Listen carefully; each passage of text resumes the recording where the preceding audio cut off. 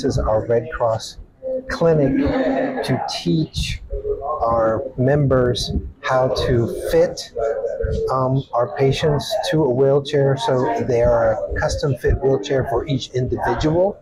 So we are doing the training so they know how to fit a customer and how to um, adjust the wheelchair so that the wheelchair fits that person perfectly to, to, to prevent uh, any injuries, sores, or for the safety of the patient.